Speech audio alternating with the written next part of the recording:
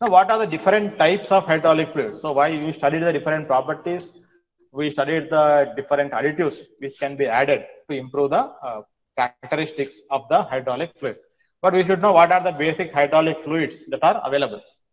Uh, the first and most commonly used hydraulic fluids are the mineral oils. Uh, whenever we say mineral oil, it is usually a petroleum based uh, oil. So it is having several advantages. It has got very good properties. It has got very good lubricity. It has got very good lubricate uh, viscosity index. So very many properties are very very good. So whenever we say petroleum based oils, the one of the main disadvantages is their tendency to catch fire. So they are uh, very prone to fire accidents. So that is why their usage is slightly limited and it is controlled whenever you are using it at high temperatures. Otherwise, they are having very good properties of lubrication. They are having very good viscosity index. Their uh, other properties in general are also very uh, good and they are readily available. So that is another uh, good advantage. The main issue is the fire accidents. Now there are different categories of the mineral oils available. So if you say HH, uh, type HH, which means there are no additives present. So whatever is the mineral oil that is present, there can be different grades of uh, mineral oils readily available. So you can use any one. So if it is specified as type HH, which means there are no additives present in it. So and uh, characteristics are fixed by the oil itself. If you are having a category say HL, there is another type of uh, mineral oil, uh, HL, which means it is having certain additives uh, for to withstand the oxidation and rust inhibitors. So it is having these two additives. So you are having oxidation inhibitors and also you are having rust inhibitors. So you can use this HL hydraulic fluid where there is a chance of high temperature and where you are having a chance of rusting. So if you are having these two chances, that is if you are using it in say highly moist uh, environments or high humid environments or where there is high levels of oxygen present, then you have to use the HL because HL will prevent the oxidation, it will prevent the formation of rusting on the uh, inner surface wherever the hydraulic fluid is present. The next one is HM category. HM means it is having the oxidation and rust inhibitors as well as it is having the high anti-wear properties. So this HM uh, category can be used for very high pressure applications because under very high pressure applications you will be having lot of forces and under these forces the hydraulic fluid should form and maintain a very thin layer of oil to prevent the uh, friction between the metallic surfaces. So if you say HM category of hydraulic oil, which means it can be used at high pressure applications. So these are mineral oils are there. You are having different grades of mineral oils and you can add certain additives to improve their performance. The main disadvantage of the mineral oil is uh, its fire catching uh, tendency. The next kind of hydraulic fluid is water. Just ordinary water with some uh, purification to remove all the unwanted salts and uh, contaminants. Advantage of water, it is very cheap. It is readily available. Maybe you have to do some kind of uh, filtration. Now, what is the disadvantage? The primary disadvantage of water is its very low viscosity. The viscosity of water is very, very less.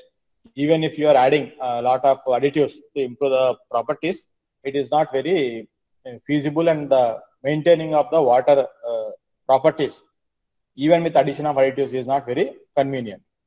Another advantage of water is it has got very good heat absorption and heat dissipation characteristics. So very quickly it can absorb the heat and if you are leaving it into the atmosphere, it can give away the excess heat. But the main disadvantage is it's very low viscosity and also it's very poor lubricating capabilities. So it cannot uh, do very good uh, lubrication because under pressure it will simply the water film will simply break away and the metal to metal contact is going to be uh, formed which will increase the heat which is not a good thing for a hydraulic system. So the next kind of oil is a fire resistant oils. So whenever we say fire resistant oils, uh, their main idea is to ensure that whatever the limitations of mineral oils are there, that is to catch fire, that is completely eliminated. So these fire resistant oils, there are three basic one and the last one is a synthetic oil. Synthetic oil is a custom engineered uh, oil which will be having the required characteristics that is expected of a hydraulic fluid and their cost is also very, very high as compared to all the other hydraulic fluids. So synthetic oils will be having special additives inside them to improve the properties. So they are custom engineered hydraulic fluids for a given kind of application. And since you are custom engineering them, you can make sure that it is not having any chance of catching a fire. The other three fire resistant oils are based on water. So they are always having the water content.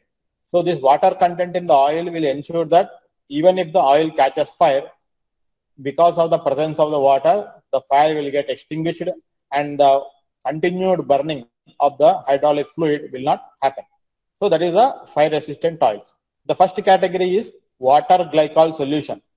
So glycol is actually an anti-freezing agent, which means if you are adding the glycol solution, ethylene glycol to a fuel, its freezing temperature is going to reduce. So this glycol is also having some good lubricating abilities. So if you are mixing glycol and water in the ratio of 40 percentage water and 60 percentage of glycol, that will form a very good uh, hydraulic fluid. The next type of fire resistant oil is water in oil emulsions. So you have to mix water and oil. So if you are leaving it as it is without uh, mixing the uh, hydraulic fluid, water and oil are going to be separated. That is why we are having emulsion, which means they have to be properly stirred and they should be kept always in some kind of motion. Otherwise, the oil and water are going to separate. So the ratio is 40 percentage of water and 60 percentage of oil.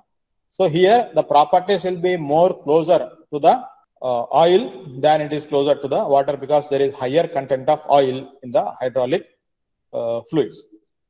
But because of the presence of oil, uh, it will be having very good lubricating uh, properties. And because of the good amount of water present in the fluid, it will also have very good heat dissipation characteristics. Its viscosity will be at a moderate level because you are having both water as well as the oil. The third one is a oil in water emulsion. So oil in water emulsion means you are using only very little quantity of oil and you are using a large amount of uh, water. So the properties will be completely like the uh, water and this oil, whatever is present, it will be only helpful to improve the lubricating property of the hydraulic fluid. So even though these are uh, some very good hydraulic liquids, uh, their usage is limited because uh, water, whenever it is present, it has got a tendency to uh, corrode and the metallic parts that is usually the steel parts which are present in the walls, the cylinder, the pumps. So they are not very much used. Usually synthetic oils or the mineral oils are very commonly used for the hydraulic applications because of their high pressure high pressure rating. They find more and more increased uh, usage. So water glycol solutions you are having water in oil emulsions and uh, oil in water emulsions. In all of these things, what happens is because of the water content present, there is a very high chance of this uh, insects and other things which are coming and entering and it is going to create some uh, other issues associated with the living organisms or living matter which is present in the hydraulic uh, fluid. So whenever you are using this water based systems, you have to add certain chemicals which will not allow the uh, formation or living of any other organism. Otherwise, these organisms can multiply very quickly. If you have seen your roof, you will see this patchy which is forming on all the moist surfaces. So same thing can happen even in the hydraulic oil also. If it is a water-based one, then this uh, all this material, if it is going into the pump or any other system, it will create more and more problems. So what you have to add certain fungicides or other uh, compounds to prevent any uh, living organism from living in the hydraulic uh, fluid. That is a water-based hydraulic oil. Now, apart from this, whenever you are using this water-based uh, hydraulic oils or hydraulic fluids, the water has got a tendency to evaporate. Even though you are not increasing the temperature, you if you are just keeping it open to the atmospheric air, it will have a tendency to evaporate. So when the water is evaporating, the percentage of water in the hydraulic fluid is going to drop when the percentage of hydraulic fluid is going to drop, the properties will shift away from the water properties. It will become the properties of the other elements which are present. So the properties of the water will be lost, which are low viscosity, which can be very good thermal uh, heat absorption and heat dissipation, these properties of the hydraulic fluid will be lost. So whenever you are using the water-based hydraulic fluids, periodically you have to keep on adding a uh, clean water to the hydraulic system to make sure that the concentration of the hydraulic fluid is as per the requirement. So this is one thing we have to remember.